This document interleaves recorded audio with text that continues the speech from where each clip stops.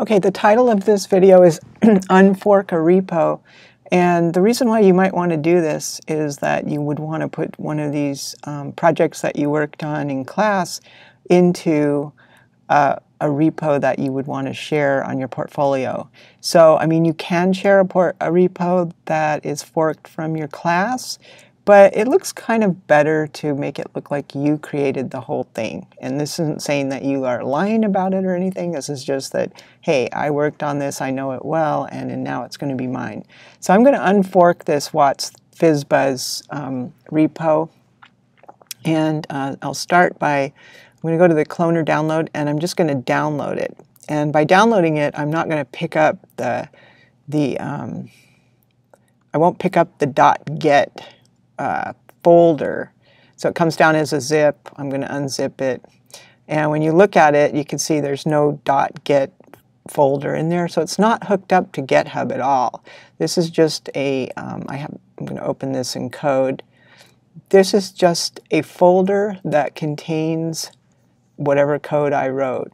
And so um, I can open it in live server and you remember this project, FizzBuzz. So I'm going to unfork this FizzBuzz project. Um, you also might want to go into the README and instead of having it be all the instructions, you might change it to just a description of what you learned in this project or what technology you used or something that makes you think this is a project worth showing off. And you could mention that you worked on it in class, but it, you will be unhooked from the class for it.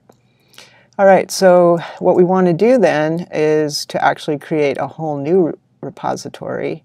So let's say I'm going to call it Watts. You can call it whatever you want.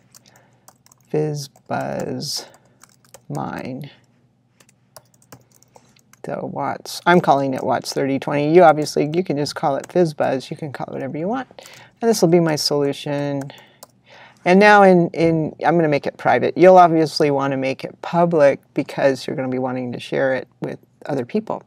So I don't need to create gitignore. I don't need to create a README. It's already got one. And I'll just say create repository. All right, so it's telling me right here what I need to do to get this repository going.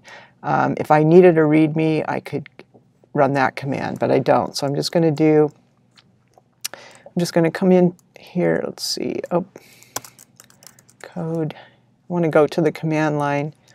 Here I'm in Visual Studio Code, and so if I do a git status, there's nothing there. I'm not hooked up to Git, but I'm going to do a git init to create a, um, so you can see it created this git um, folder, so now I can issue git commands on it. And so I'll do git add dot. That adds everything below my current directory, which is the root of this uh, folder, root of this project, and git commit dash m. Um, I can even call it, you know, first commit, um, adding code for FizzBuzz, whatever you want to say for that initial commit. And then, of course, um, git push origin master.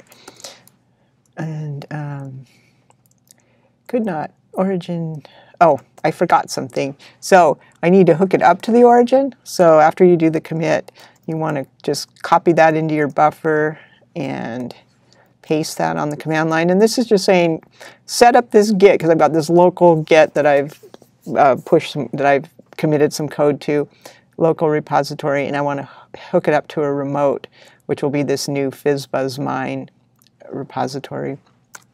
And then I can do git push origin master. And I have a password, but you probably don't have one. Let's see. So you would just, it should just push from that point on.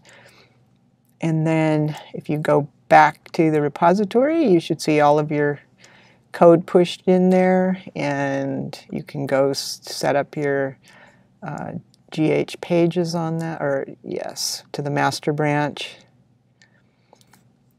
and once that is fully published, sometimes takes a few seconds, sometimes takes longer,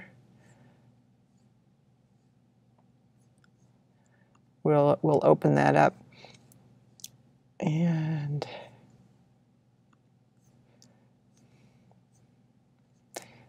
I will open that up. And because there's a prompt in this, Chrome has a security problem with opening up new tabs that start with prompts, but it works fine if you just refresh or paste it in there. So I can grab that URL and head over here, paste it in there, and I'm ready to share this repository as if it were my own. All right, I hope that helps if you're planning on using some of the classwork, which I hope you do for your portfolio.